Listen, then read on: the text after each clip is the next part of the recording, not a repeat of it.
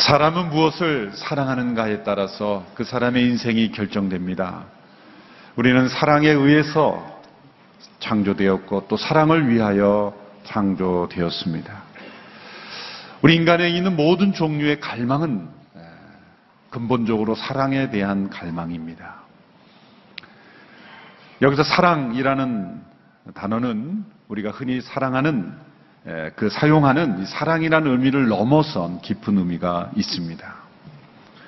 오늘 본문에서 세상이나 세상에 있는 것들을 사랑하지 말라라고 하실 때 사용된 이 사랑, 헬라어는 아가파오, 또 우리가 흔히 아가페 사랑이랄 때 무조건적인 사랑 그런 의미로만 해석되지만 보다 깊은 의미로서는 우리의 모든 정서를 다해서 최우선적으로 몰입하는 어떤 애착심, 최우선 순위를 두고 몰입하는 어떤 애착심, 그래서 아가파오의 의미에 담겨 있는 것입니다. 우리 사람이 가진 정서는 우리의 됨됨이를 증명하고 또 우리의 존재를 설명해 주는 것입니다. 그래서 이 청교도들은 이 사람의 정서, 이 정서가 중요하다. 그래서 affection이라는 단어를 많이 사용했습니다. 예, 유명한 청교도 조나단 에드워드도 참된 신앙의 정서가 무엇인가? 그 Religious Affections라는 유명한 책을 남겼죠. 17세기 청교도 존 오웬은 말하기를 사람이 가진 정서는 영혼이라는 배의 조타기와 같다. 그래서 그 조타기의 방향대로 우리의 영혼의 방향이 조정되어 움직여 간다라고 말했습니다.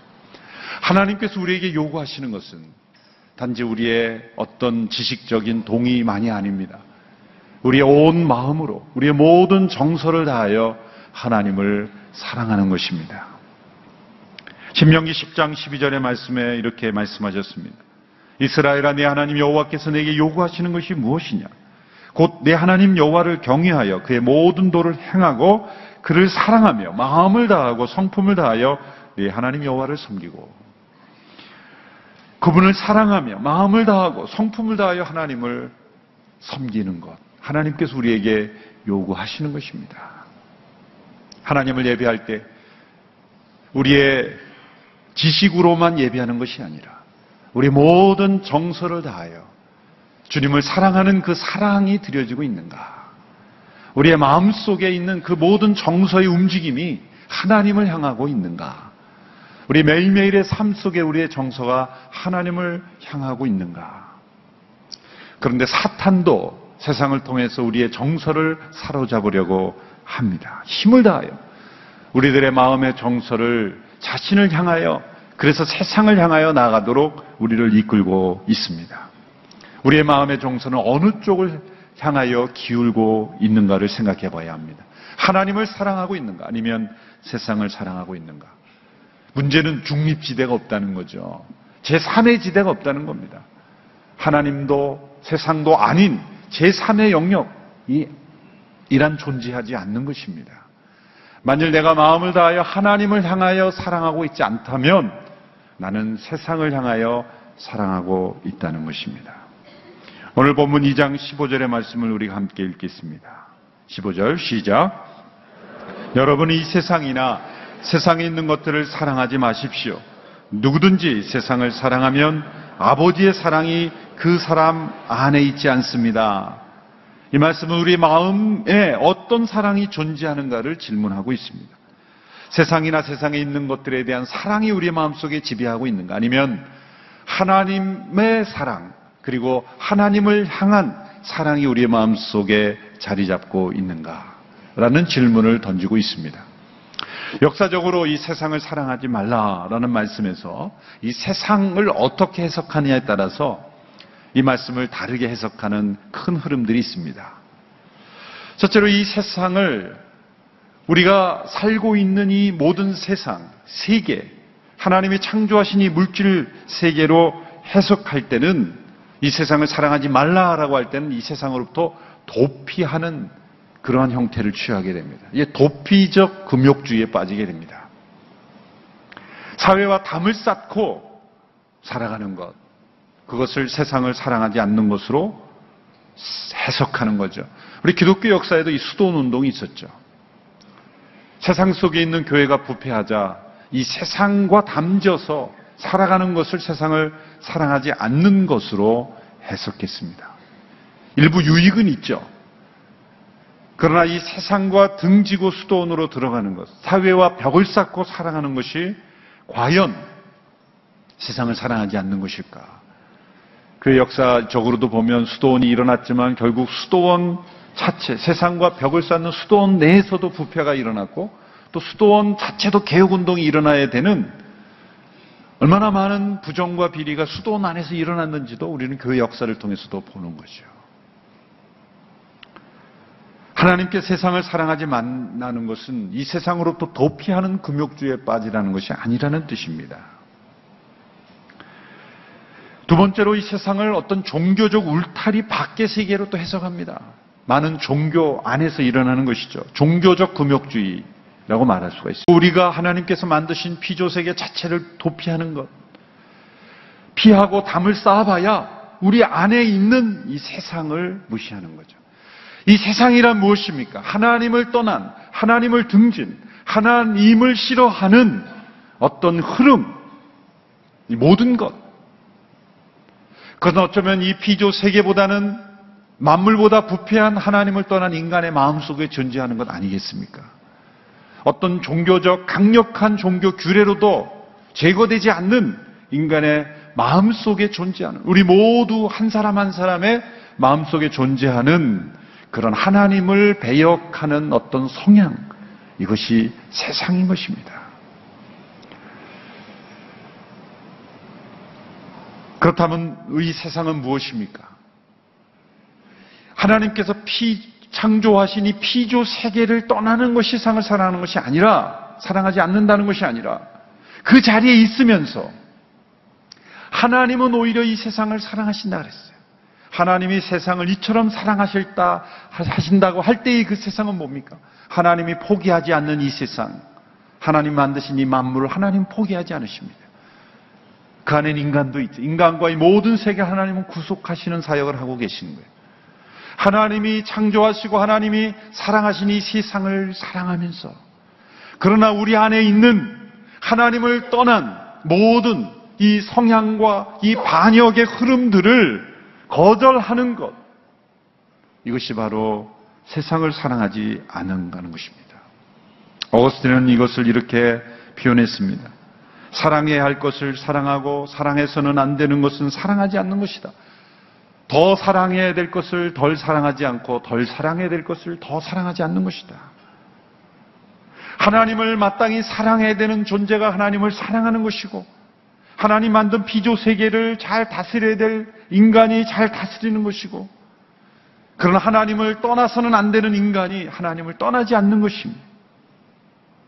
우리 안에 있는 끊임없이 하나님을 배역하는 것을 거절하는 것. 이것이 세상을 사랑하지 않는 것입니다. 이 세상 내에 존재하는 그러나 우리 안에 있는 모든 욕구들이 제자리를 찾아가도록 만드는 것. 이것이 세상을 사랑하지 않는 것입니다. 여러분, 무엇인가를 사랑하려는 욕구 자체가 결코 악한 것이 아닙니다. 욕구 자체는 중립적인 것이며 그리고 하나님께서 창조하신 욕구는 선한 것입니다. 여러분, 불교에서는 인간의 욕구 자체를 악한 것으로 보죠. 어떤 욕구든지 욕구 자체를 제거하려고 그렇게 노력하죠. 그러나 여러분 생각해 보십시오. 인간의 욕구를 제거해야 된다라고 하고는 그 수행 자체가 욕구 아닙니까? 내 안에 있는 욕구를 제거해야 되는 욕구 자체가 욕구예요. 그 자체가 욕구입니다. 그 수행하려는 자체가 어떤 인간의 욕구입니다. 욕구 자체는 사라지는 것이 아닙니다. 욕구의 방향과 목적과 내용이 중요한 것이죠. 여러분 창세기 1장부터 3장에 보면 하나님께서 창조하실 때 주신 8가지의 욕구가 나옵니다. 첫째는 음식에 대한 욕구입니다. 창세기 1장 29절에 보면 이렇게 되어 있습니다. 하나님이 이르시되 내가 온 지면에 심에 있는 채소와 씨 가진 열매 맺는 모든 나무를 너희에게 주노니 너희의 먹을 거리가 되리라. 하나님이 우리에게 먹는 소욕을 주시고 음식에 대한 욕구를 주셔서 우리가 생존케 하시고 때로는 그 음식을 통한 즐거움도 우리에게 주신 거예요. 이 음식에 대한 욕구 이것은 하나님께서 우리를 창조하실 때 넣어주신 선한 욕구입니다. 나는 음식에 대한 욕구가 전혀 없다면 그것은 무엇인가 창조 질서에서 벗어난 거죠. 문제는 이 욕구가 과해지는 게 문제죠. 그 자체는 선한 것입니다. 두 번째는 성에 대한 욕구죠. 창세기 1장 28절에 하나님께서 그들에게 복을 주시며 그들에게 이르시되 생육하고 번성하여 땅에 충만하라 땅을 정복하라 바다의 물고기와 하늘의 새와 땅에 움직이는 모든 생물을 다스리라. 이 성적인 연합을 통한 생육과 번성 하나님이 명하신 것이요 인간에게 주신 복이자 이것은 하나님이 주신 욕구인 것입니다. 이것 자체가 악한 것이 아닙니다.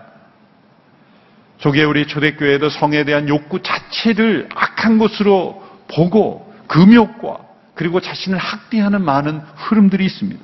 이것은 세상을 사랑하지 말라라는 말씀의 실천이 아니라 잘못된 해석이요 적용인 것이죠. 세 번째는 권력에 대한 욕구입니다.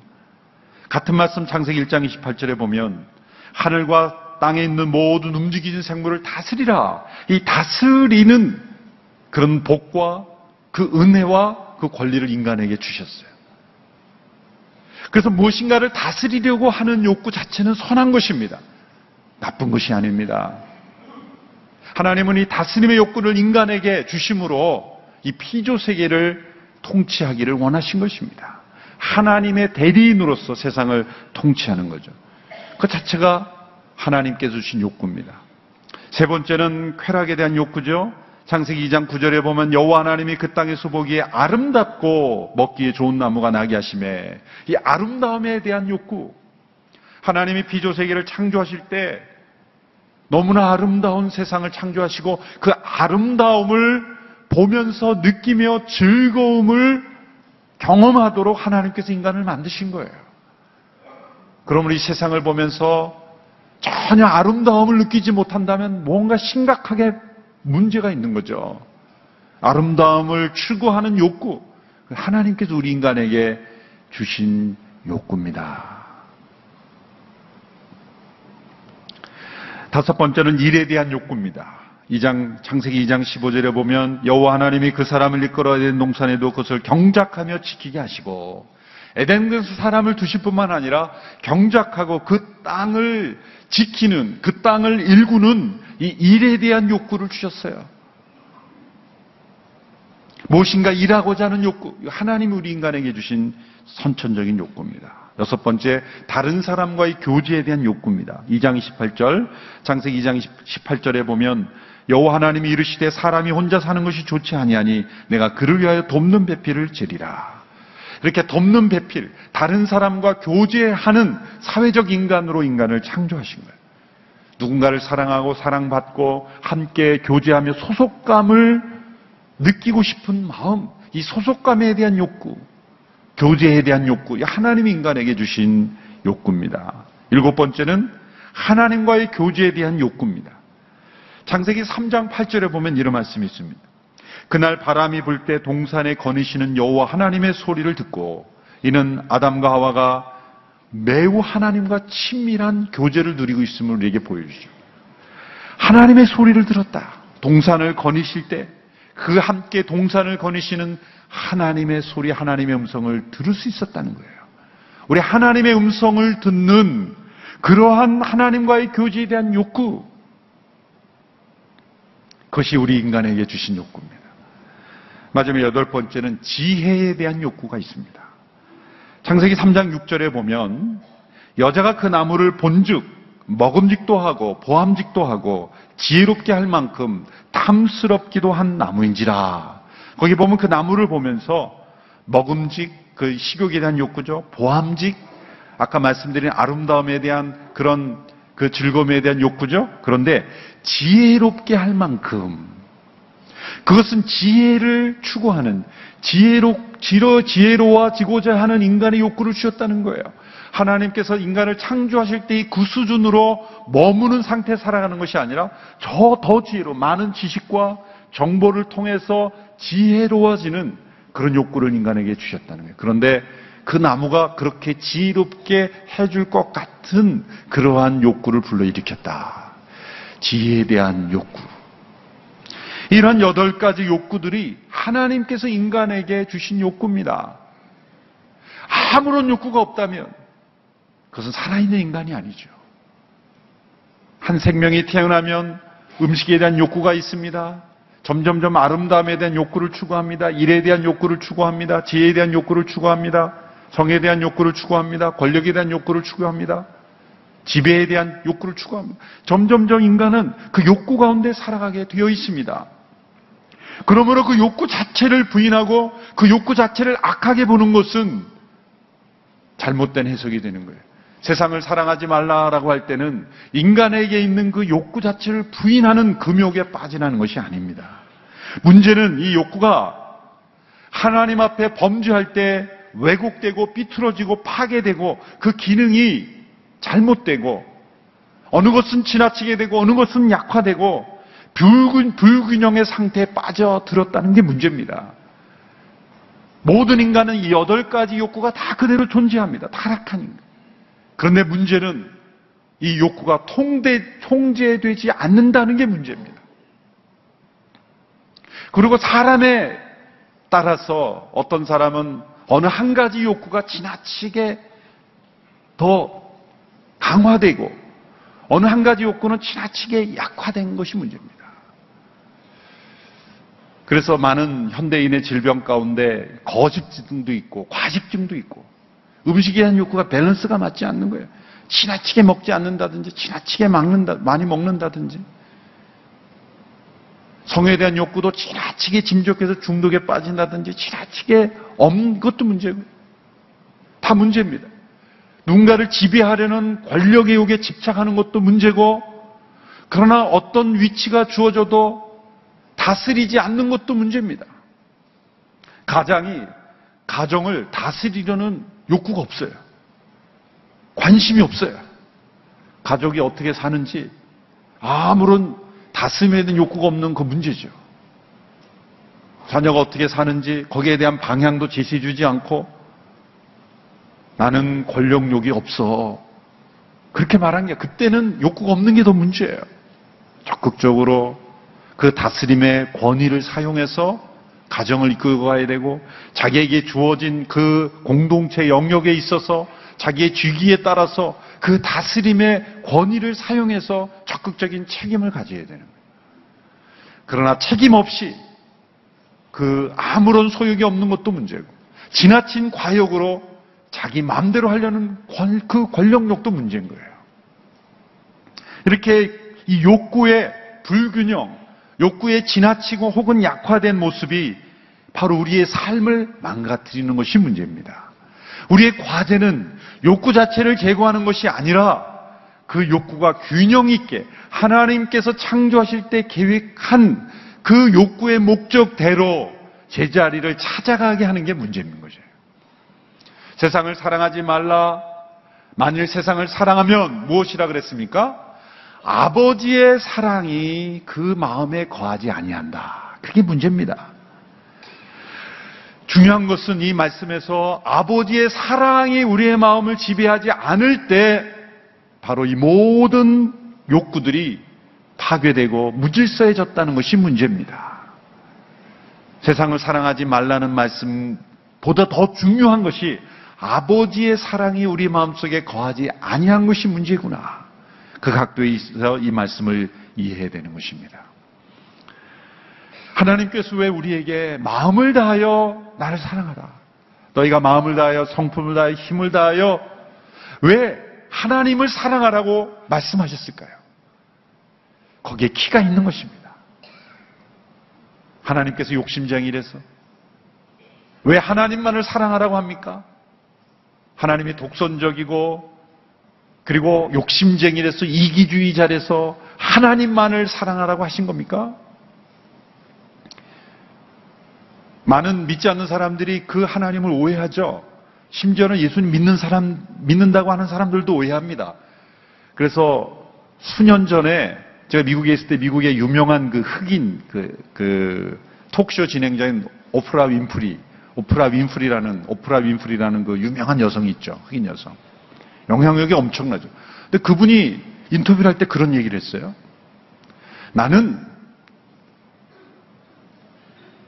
구약에 하나님께서 나만을 사랑하라고 하는 그 독선적인 하나님은 나는 믿고 싶지 않다. 내가 믿는 하나님은 그런 하나님이 아니다. 내가 믿는 하나님은 다른 무엇을, 다른 신을 사랑해도 인정해주고 그렇게 축복해주는 그런 하나님을 나는 믿는다. 예수 믿는 사람이라고 하지만 굉장히 어리석은 얘기를 한 거예요. 그 사람의 속, 마음이 나온 거예요. 많은 사람들이 잘한다, 잘한다, 좋다, 좋다 그러니까 이제 본색이 나온 거예요, 사실은. 엄청난 착각에 빠진 거죠. 이 말씀을 제대로 이해하지 못한 겁니다. 왜 하나님께서 마음을 다하여 성품을 다하여 힘을 다하여 하나님만 사랑하라 그랬습니까? 그게 우리가 살 길이기 때문에. 그게 우리가 행복해지는 길이기 때문에요. 그리고 이 말씀에 비치면 하나님을 사랑해야 이 모든 욕구들이 제자리를 찾기 때문이에요. 이 하나님과의 교제의 욕구가 가장 우리의 중요한 욕구가 될 때 우리 인간에게 있는 모든 나머지 욕구들이 제자리를 찾아가는 겁니다. 제자리를 찾아가는 겁니다. 여러분 마음을 다해 하나님을 사랑하면 다른 사람들은 다 무시하게 됩니까? 아닙니다. 이 세상에 많은 사람들을 사랑한 사람은 어떤 사람입니까?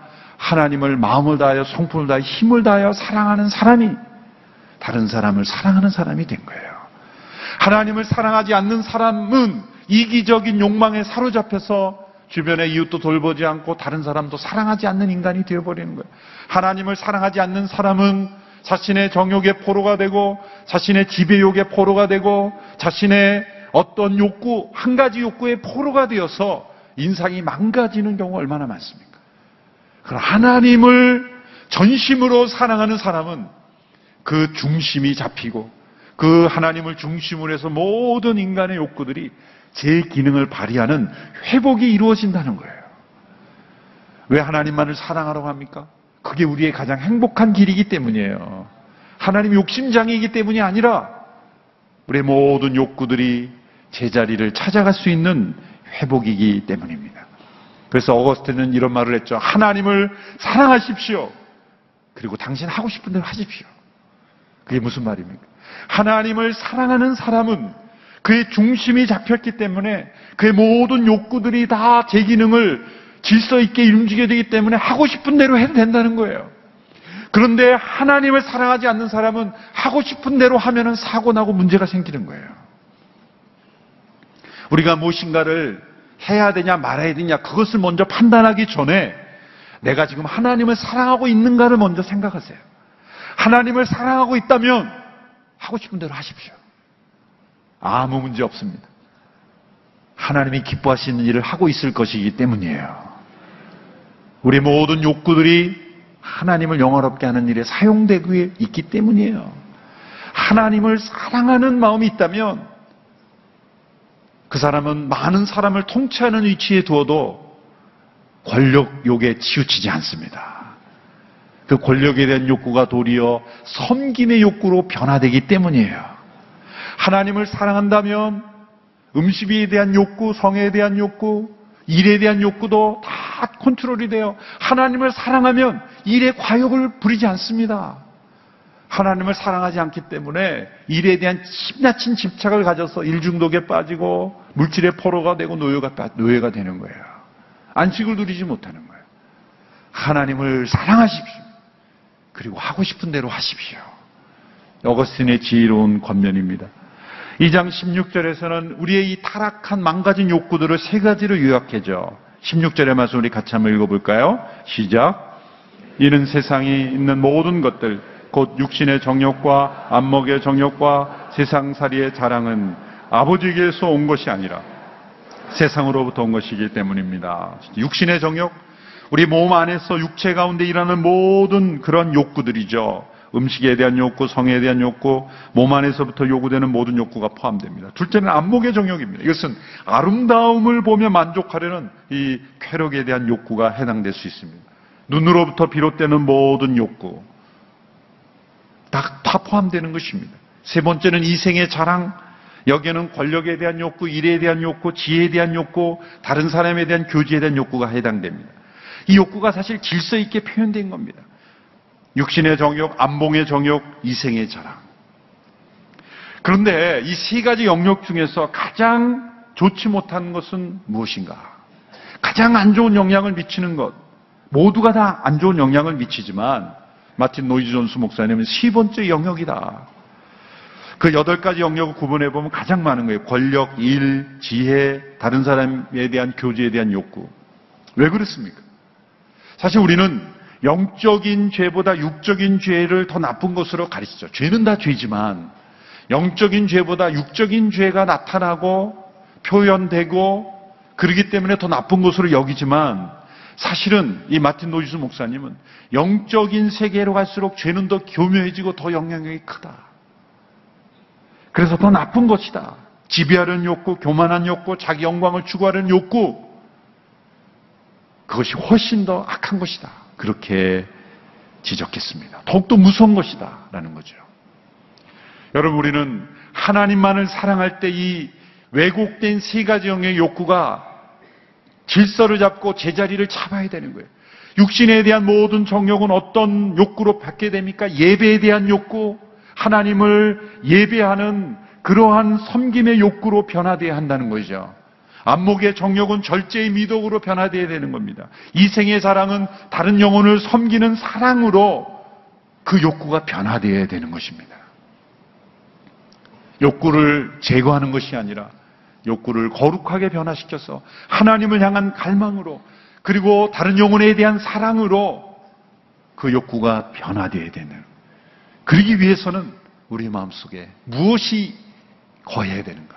아버지의 사랑이 우리의 마음속을 주장해야 된다는 거예요.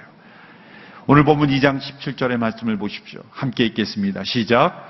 세상도 사라지고 세상의 정욕도 사라지지만 하나님의 뜻을 행하는 사람은 영원히 살 것입니다. 이 세상과 함께 사라져버리고 우리의 죽음과 함께 사라져버릴 욕구들에 집착하지 않으려면 아버지의 영원한 사랑, 아버지의 그 임재하심이 우리를 주장해야 한다는 겁니다. 그래서 우리의 마음속에 가장 중요한, 가장 갈망하는 욕구가 무엇이어야 됩니까? 아버지의 사랑에 대한 욕구.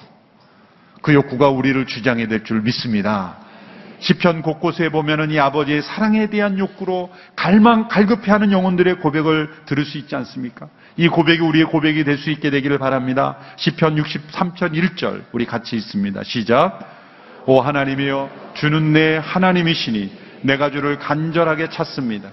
물이 없어 메마르고 지친 땅에서 내 영혼이 주를 목말라 하며 내 육체가 주를 간절히 바랍니다. 42편 1절 시작 오 하나님이여 사슴이 목이 말라 헐떡거리며 시냇 물을 찾듯이 내 영혼이 목이 말라 주를 찾습니다. 이렇게 시편 기자처럼 아버지의 임재 하나님에 대한 목마름 그 욕구가 그 갈망이 간절하면 사람이 망가질까요? 아닙니다. 이 욕구가 충만할 때 주님은 약속하셨습니다.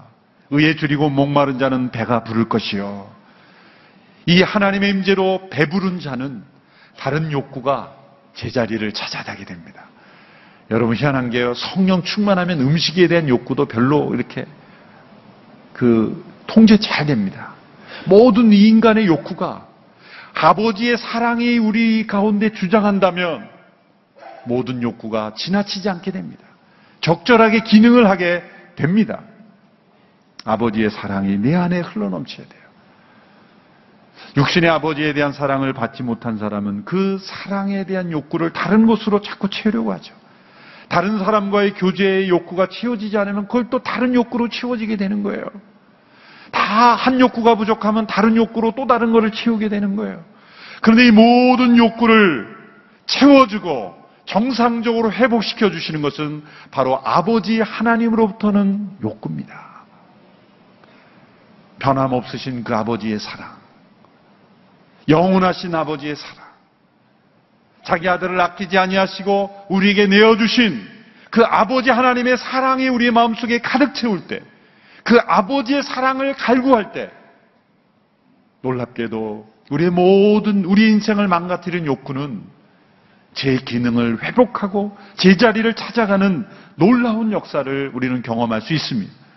요동치던 욕구들이 다 잠잠해지게 되는 것입니다.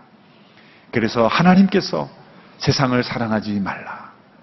그리고 아버지 하나님 사랑하라. 그렇게 말씀하신 것입니다. 아버지 하나님에 대한 그 사랑으로 갈망하면 그 갈망은 소망이 되고 능력이 되고 우리를 변화시켜 주시는 하나님의 역사를 이루실 줄로 믿습니다. 우리 아버지 하나님을 갈망하고 더욱 사랑하는 우리 모두가 되기를 바랍니다.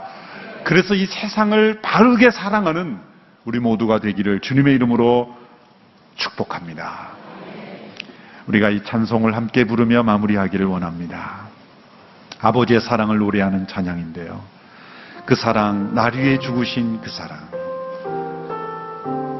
영원하신 그 사랑이 우리의 마음에 충만하게 되기를 원합니다. 눈을 감고 우리가 이 찬양을 함께 부르길 원합니다. 제가 가사를 함께 불러드릴 텐데 아버지의 사랑이 내 마음을 주장하기를 원합니다. 그 사랑에 갈급한 영혼이 되기를 원합니다. 아버지 사랑 내가 노래해 함께 찬양하겠습니다. 내가 노 아버지 은혜 내가 노래해. 아버지 은혜 내가 노래해. 그 사랑 변함없으신 사랑 변함없으신 거짓 없으신 성실하신 그 사랑 성실하신 그 사랑 상한 갈때 꺾지 않으시는 갈때 꺾지 않으시 꺼져가는 등불 끄지 않으시는 꺼져가는 등불 끄지 않는 그 사랑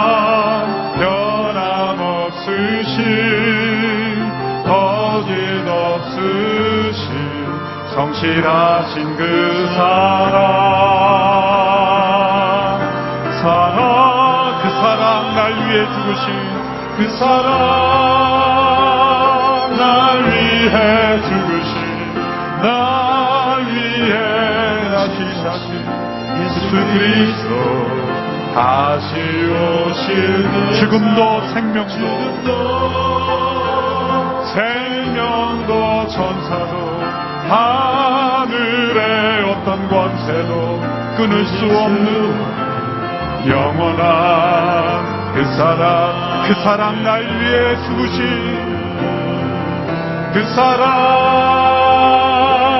날 위해 죽으신 날 위해 다시 다시 예수 그리스도. 다시 오실 그 사랑 죽음도 생명도 천사도 하늘의 어떤 권세도 끊을 수 없는 영원한 그 사랑 예수. 아버지 하나님 하나님 아버지를 사랑하지 않았기에 하나님 아버지로 갈급해야 하지 않았기에 하나님을 전심으로 사랑하지 않았기에 우리의 모든 욕구들이 망가져 버렸습니다. 지나치고 연약해지고 흐트러지고 우리의 삶을 망가뜨리고 사회를 무너뜨리는 욕구가 되어버렸습니다.